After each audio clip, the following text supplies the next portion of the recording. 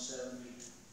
And all his hard work and all those, uh, all the mistakes he was making early in the year, he, he was getting rid of those mistakes. He wasn't making those mistakes. Huge wins, uh, against McCauley, uh, both in the first night and the second night. When we were going to third place, that pin was gigantic.